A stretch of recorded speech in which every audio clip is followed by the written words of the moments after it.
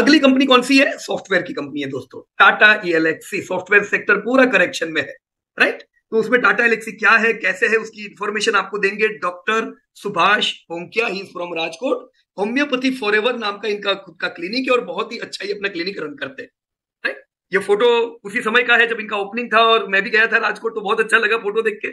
Yes sir या हम सुभाष भी से जानेंगे कि टाटा एलेक्सी में क्या किया जाए बहुत टूट रहा है हा? चलो। Okay sir thank you sir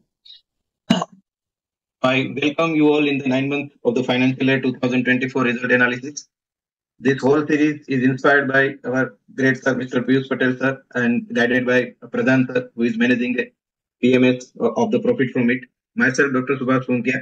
आज हम बात करेंगे टाटा एलेक्सी के बारे में तो टाटा एलेक्सी को समझने से पहले हम एक बार आईटी इंडस्ट्री को समझते हैं कि आईटी इंडस्ट्री में अभी तक किस तरह का परफॉर्मेंस है और पीयर्स कंपेरिजन में बाकी की कंपनियों का हाल क्या है ओवरऑल अगर मार्केट देखें तो थर्टी सिक्स लाख करोड़ का मार्केट जिनमें सबसे बड़ा टीसीएस है सेकंड नंबर पर इन्फोसिस यहाँ पर अगर हम देखें तो टॉप की जो सिक्स कंपनी है TCS Infosys L Wipro LTM and Tech Mahindra ये सभी कंपनियाँ निफ्टी की कंपनियाँ हैं। यानी कि ये पुराना सेक्टर है।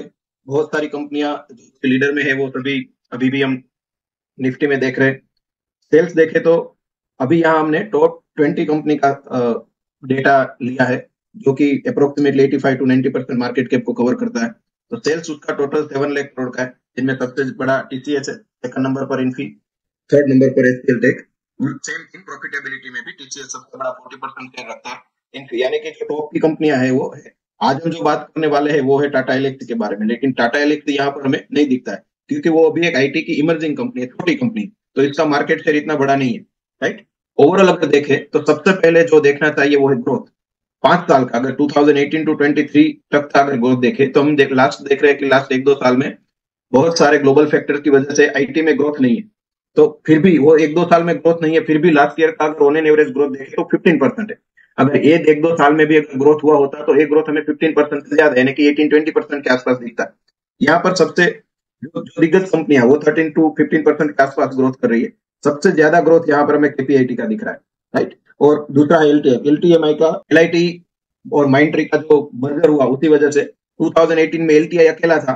2023 में अब दो कंपनियाँ हो गई, इसी वजह से ये ग्रोथ ज़्यादा दिख रहा है. अदरवाइज़ वो भी 15 परसेंट के आसपास है.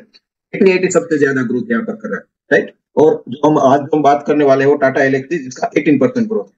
राइट करंट क्या सिनारियो अभी लेटेस्ट नाइन मंथ का रिज़ल्ट है. नाइन मंथ के रिज़ल्ट के हिसाब से देखो तो सिक्स परसेंट का ग्रोथ है. यानी कि इस तरह की इंडस्ट्री जिसकी लीडर सिक्स कंपनियाँ है, वो निफ्टी में है और इस तरह की कंपनी का ग्रोथ सिक्स परसेंट है।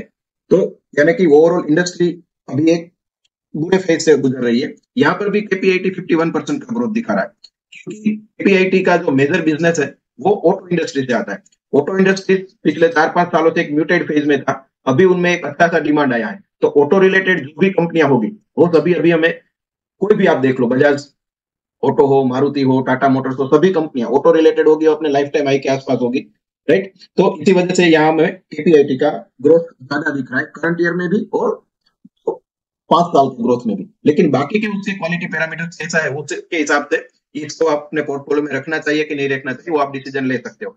रेड गेन का 84 परसेंट का बिज़नेस है, जो कि होटल इंडस्ट्री से, वो एक लो बेस था, अभी हाई बेस यहाँ पर हमें इफ़ेक्ट दिख रही है। ओवरऑल लिक्विडिटी रेशियो कैसा है? तो नेट प्रॉफिट मार्जिन सभी कंपनियों का प्रॉफिटेबिलिटी ऑलमोस्ट अच्छा है। यहाँ भी हम देखें तो एवरेज 15 परसेंट डबल डिजिट में एक प्रॉफिट मार्जिन है। करंट रेशियो भी फेवरेबल है, यानी कि सभी कंपनियों का जो भी लाइबिलिटी है उसके सामने एसेट कंपेरिजन में भी approximately two percent two times के आसपास है। ट्रेड साइकिल डे भी सिक्सटी वन यानी कि टू मंथ का अप्रोक्सीमेटली उसका ट्रेड साइकिल डे रहता है।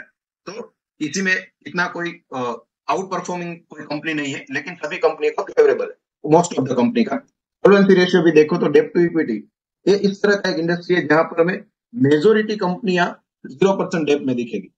है ना इसी वजह से उसका सोलवेंसी रेशियो मतलब इसी वजह से उसका लिक्विडिटी रेशियो होता है प्रॉफिटेबिलिटी अच्छी है। लेकिन यहाँ पर सबसे ज़्यादा जो डेप्थ एपीएस माइंड का, वो भी थर्टी टू परसेंट यानी कि वो भी एक फेवरेबल जोन में है। लेकिन बाकी सभी कंपनियाँ वो लगभग टेन परसेंट के लो डेप्ट टू इक्विटी रेशियो और इसी हिसाब से यहाँ डेप्ट रेशियो भी उसका फेवरेबल है। एक मास्टेक का एक थोड़ा ज़्यादा है वन हंड्रेड टेन परसेंट जो कि बहुत ज़्यादा है। लेकिन केपीआईटी का फिफ्टीन परसेंट है। यानी कि ये क्वालिटी पैरामीटर में थोड़ा दिख रहा है। बाकी सभी कंपनियाँ approximately thirty to thirty five percent के आसपास अच्छा डेप दिख रहा है। इसी वजह से इंटरेस्ट कवरेज रेशियो भी क्योंकि ये अभी साल ये थोड़ा म्यूटेड ग्रोथ वाला है प्रॉफिटेबिलिटी इतनी नहीं बढ़ी है। तो इसी वजह से इंटरेस्ट कवरेज रेशियो भी क्योंकि ये हमने लास्ट ईयर के फाइनेंशियल ईयर 2023 के प्रॉफिट के हिसाब से काउंट किया है। तो यहाँ हमें थोड़ा आईसीआर थोड़ा कम दिखेगा। लेकिन ऑलमोस्ट हम देखें तो जो भी लीडर कंपनी था, वो फेवरेबल है। प्रॉफिटेबिलिटी रेशियो में भी रिटर्न ऑन इक्विटी भी डबल डिजिट में है। टीसीएस का 42 परसेंट है। ये Sonata software one time gain की वजह से हमें 72 परसेंट दिख रहा है। बाकी सभी का अप्रोक्सीमेटली डबल डिजिट यानी कि मोर देन 15 परसेंट के आसपास का return on equity return on paid up equity में भी जो पुरानी कंपनी है टीसीएस उसका वन वन सिक्स है। एलटीएमआई एलटीआईएम का ए मर्जर की वजह से थोड़ा हाई दिख रहा है। बाकी सभी कंपनी का अप्रोक्सीमेटली टेन के आसपास का है। रिटर्न ऑन एसेट भी एटीन परसेंट यानी कि एक अच्छा रिटर्न ऑन एसेट माना जाता है। तो ये इस तरह का एक इंडस्ट्री है जहाँ लिक्विडिटी रेशियो भी अच्छा है बुरे समय में भी कोई इतना वीकनेस नहीं दिख रहा है। नहीं तो ज़्यादातर क्या होता है कि अगर बुरा समय आता है तो इंडस्ट्री की बहुत सारी कंपनियाँ होती है जो का क्वालिटी पैरामीटर कहीं ना कहीं कॉम्प्रोमाइज है, उसमें हमें एक डाउनग्रेड दिखता है। लेकिन यहाँ पर हम देखें तो ये बुरे समय में भी liquidity ratio profitability ratio solvency ratio सभी पैरामीटर में मेजोरिटी कंपनियाँ फेवरेबल कंडीशन में तो यहाँ अगर हम थोड़ा डिवाइड करके समझे तो किस तरह से? ये टॉप ट्वेंटी कंपनी में जो लीडर की कंपनी है TCS Infosys HCL Wipro L LTI Mindtree and Tech Mahindra ये जो बड़ी दिग्गज कंपनी है, कि जो निफ्टी में है, उसका उसमें से सबसे फेवरेबल और सबसे क्वालिटी में भी अच्छा कंपनी टीसीएस और इन्फोसिस है। उसमें से अगर छोटी कंपनी में देखो तो परसिस्टेंट है टाटा एलेक्सी केपीआईटी अभी के ऑटो के हिसाब से देखो तो ये मतलब एक मिड जोन वाली कंपनी है, और Happiest Mind Latent View RateGain ये सभी छोटी कंपनियाँ हैं तो इसी हिसाब से आप अपने रिसर्च अपने नॉलेज और अपने एडवाइजर की सलाह के हिसाब से किस कंपनी को अपने पोर्टफोलियो में किस तरह से रखना चाहिए उस हिसाब से देख सकते हो। तो इसमें से हम एक कंपनी की आज जो बात करेंगे, वो है टाटा एलेक्सी तो टाटा एलेक्सी का अभी तक का पास्ट परफॉर्मेंस कैसा रहा है करंट ट्रेंड कैसा है और फ्यूचर में हम क्या एक्सपेक्ट करते हैं, उसको थोड़ा समझने के लिए फंडामेंटली अगर देखें तो सेल्स ग्रोथ पिछले बीस सालों में एटीन परसेंट से ग्रोथ किया है और जो अप्रोक्सीमेटली 100 करोड़ का जो सेल्स था वो आज थर्टी टाइम यानी कि three thousand two hundred crore के आसपास आ गया है। और सेम थिंग प्रॉफिटेबिलिटी में भी रिफ्लेक्ट हो रही है। जो ट्वेल्व करोड़ का प्रॉफिट था, वो आज अच्छा खासा, यानी कि ट्वेंटी थ्री परसेंट सी से लास्ट ट्वेंटी ईयर में कंपनी ने ग्रोथ किया है। इसी वजह से हमने एक दो साल पहले उसके अच्छा सा रैली भी देखा है। तो जब सेल्स और प्रॉफिट बढ़ता है तो प्राइस में भी अप्रिसिएशन आना जायज़ है। राइट लेकिन अभी का करंट ट्रेंड क्या है? एलटीआई सॉरी टाटा एलेक्सी की जब बात कर रहे हैं तो इतना सब अच्छा है, बुरे समय में भी अच्छा कर रही है। ग्रोथ भी बाकी कंपनियों का जब भी लीडर भी टेन परसेंट के आसपास ग्रोथ कर रहे उसी समय एटीन परसेंट का फिफ्टीन परसेंट का ग्रोथ दे रही है तो फिर भी एक टूट रहा है राइट तो उसको समझने से पहले थोड़ा उसका बिज़नेस अगर समझे कि अभी का जो सेगमेंट क्या है तो उसका टाटा एलेक्सी का जो मेन सेगमेंट है। एक इंडस्ट्रियल डिज़ाइन एंड विजुअलाइजेशन इसमें एटीन परसेंट का कंस्टेंट करेंसी ग्रोथ आया है ईयर ऑन ईयर की बात करें तो। सिस्टम इंटीग्रेशन एंड सपोर्ट का ट्वेंटी परसेंट से ग्रोथ आया है। लेकिन जो उसका सबसे बड़ा सेगमेंट है एम्बेडेड प्रोडक्ट डिज़ाइन उनका एट परसेंट ग्रोथ आया है। और अगर ईपीडी सेगमेंट को ईपीडी के वर्टिकल को देखें तो इनमें से मेन थ्री वर्टिकल्स है, जिनमें सबसे बड़ा जो है वो ट्रांसपोर्टेशन है इसमें ट्वेल्व पॉइंट नाइन परसेंट का ग्रोथ है। यानी कि जो सेगमेंट में सबसे बड़ा ट्रांसपोर्टेशन ऑटो रिलेटेड है, वो इनका सेगमेंट बड़ा है। इसी वजह से बाकी कंपनियाँ जो ऑटो रिलेटेड इतना ज़्यादा फोकस नहीं है, उसमें इतना ज़्यादा ग्रोथ नहीं है, लेकिन केपीआईटी पूरा ऑटो पर उसका फोकस है। तो इसी वजह से केपीआईटी सबसे ज़्यादा ग्रोथ दिखा रहा है राइट और मीडिया एंड कम्युनिकेशन में सिर्फ़ 1.3 परसेंट का ईयर ऑन ईयर ग्रोथ दिखा है और हेल्थ सेगमेंट और लाइफ साइंस की जो सेगमेंट है उनमें 11 परसेंट का कॉन्स्टेंट करेंसी ग्रोथ दिखा है। तो ये सिर्फ़ एक सेगमेंट में नहीं अलग अलग सेगमेंट में अपने आप को डाइवर्सिफाइड कर रही है। और इसमें और एक नया सेगमेंट जुड़ रहा है, जैसे ब्रॉडकास्ट एंड मीडिया एनिमेशन का वीएफएक्स का जो इफ़ेक्ट होता है, वही बात कर लो ऑटोमेशन जो इसका पुराना पहले से ही सेगमेंट है बिज़नेस है ऑटो रिलेटेड एआई अगर अभी एआई का बहुत क्रेज है तो अगर आप एआई के लिए कंपनी ढूंढ रहे हैं तो एक बेस्ट क्वालिटी वाली एक कंपनी हम बोल सकते हैं इसके अलावा भी हो सकती है। लेकिन ये अभी हमारे रडार में है। Health care segment robotic industrialisation के रिलेटेड और वीएक्सआर वीएक्सआर पे अभी कंपनी एक नया सेगमेंट अभी एक डेवलप कर रही है। तो ये अपने आप को डाइवर्सिफाइड कर रही है। अगर क्योंकि कुछ समय के बाद, अभी ज़्यादातर ऑटो से उधर बिज़नेस आ रहा है। जैसे ऑटो एक, ये साइक्लिकल है। कुछ समय के बाद एक ऑटो म्यूटेड में जाएगा, और कोई इंडस्ट्री चलेगी। कुछ समय के बाद वो इसका एक म्यूटेड फ़ेज़ आएगा, और कोई इंडस्ट्री चलेगी। तो उसी समय ये कंपनी इसी पर डिपेंडेंट ना हो जाए, इसीलिए उसका एक पूरे का पूरा जो बिज़नेस प्रोफ़ाइल है, वो एक डाइवर्सिफाइड दिख रहा है।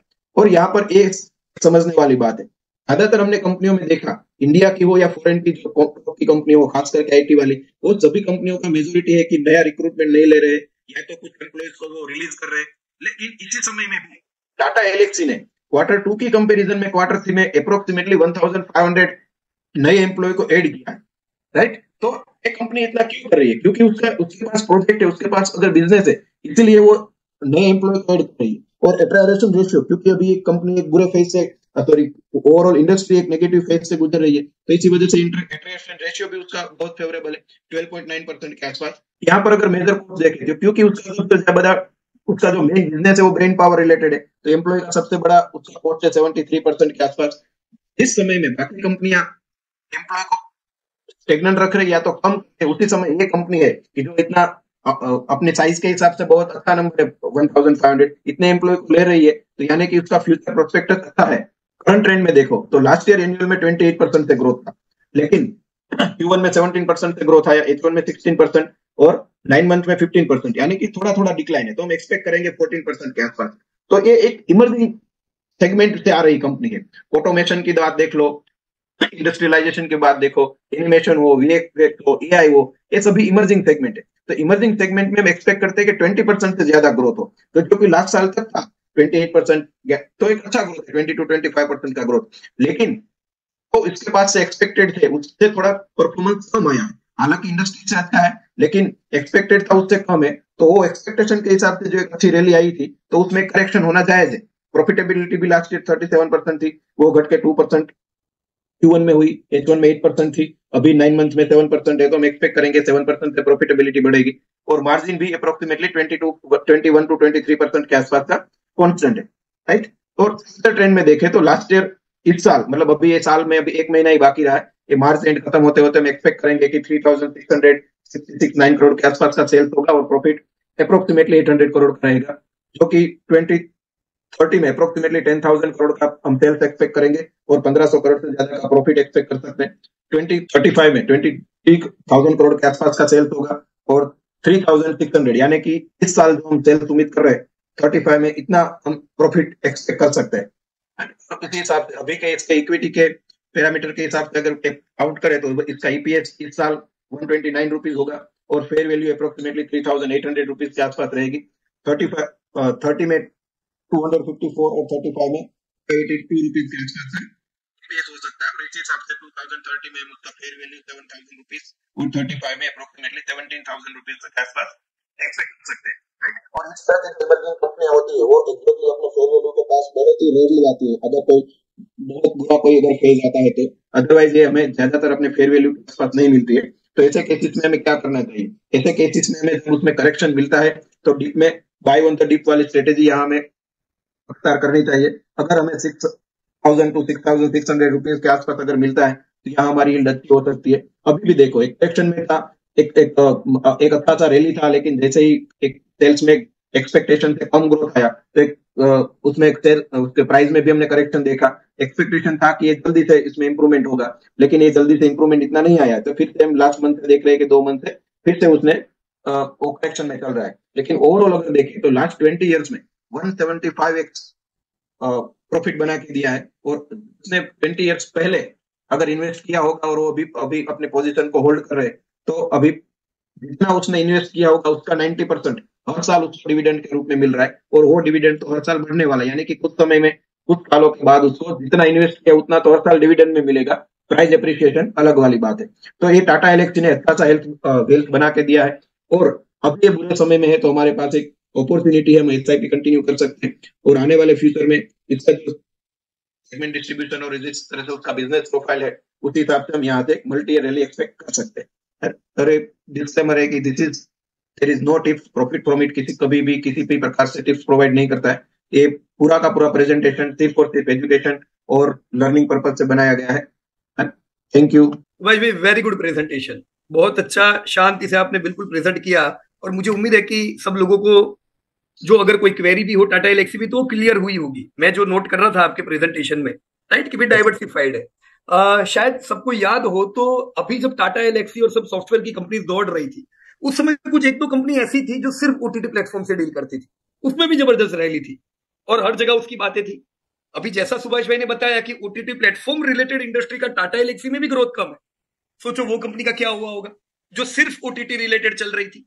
अभी ऑलमोस्ट आधी हो, हो चुकी है राइट कंपनी बुरी नहीं है वो पहले भी अच्छी थी अभी भी अच्छी है।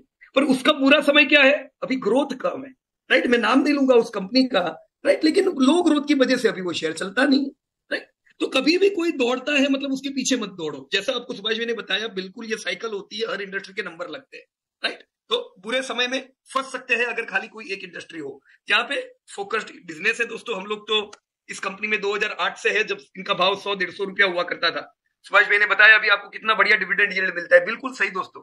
लेकिन इसका मतलब ये नहीं है कि हमने इसमें फॉल नहीं देखा। हमारे लेने के बाद दोस्तों ये दो बार तो आधा हो गया है। तो ये तीसरी बार अभी टूटा हुआ है। मैं आधा यानी एक बड़ा फॉल हुआ। और ये तीन तीन साल नहीं चला था दोस्तों। पर ऐसा तो कभी हमने सोचा नहीं, अभी कभी ये ज़िंदगी में नहीं चलने वाला है। लोगों ने सोचा वो निकल गए उसके बाद। देखो ये तो अभी तीन साल पहले कैसा चला था। तो ये चलना टूटना छोड़ो दोस्तों। ये इंडस्ट्री आपको लगता है लॉन्ग टर्म काम लगेगी। बिल्कुल लगेगी। आपको अच्छा ग्रोथ मिलेगा। अभी इनका समय अच्छा नहीं है राइट अभी आपको सुभाष भाई ने बताया लो ग्रोथ है। तो ग्रोथ जब कम है ट्रेंड सीधा क्लियर है आपके सामने तो प्रश्न आना नहीं चाहिए कि कब चलेगा। बराबर? पता रहना चाहिए, नहीं चलेगा अभी। अब ये करेक्शन में रहेगा क्योंकि ग्रोथ कम है। ग्रोथ आने दो ना भाई। जैसे ग्रोथ आएगा, ये दौड़ेगी राइट तो अगर नहीं है आपके पास तो क्या करे? तो अच्छी बात है ना, ऐसा ही भी करो। अगर है तो क्या करे? कोई बात नहीं। नहीं चल रहा है, टूटे हुए भाव है, थोड़े ऐड करो, बाकी शांति रखो। हर फॉल के बाद रैली रैली के बाद फॉल आता है, आने वाले रैली का आपको फ़ायदा होगा अगर ये फॉल पे लोगे तो राइट अभी जो प्राइस आपको बताया, बिल्कुल मुझे लगता है एकदम प्रॉपर प्राइस है राइट छह हज़ार से साढ़े छह हज़ार की रेंज में इसको एकदम एग्रेसिवली ऐड करना चाहिए। कोई चिंता की बात नहीं है दोस्तों long term it's a very good company all right